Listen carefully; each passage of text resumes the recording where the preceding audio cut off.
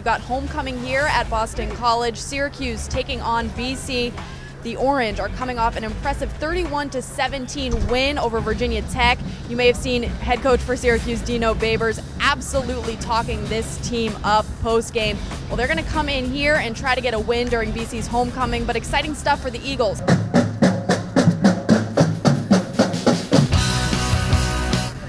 My Luke Kuechly jersey, signed, cut for the homecoming. Retiring his jersey today, pretty fresh. Repping the Boston Red Sox hat. I have my rain jacket on.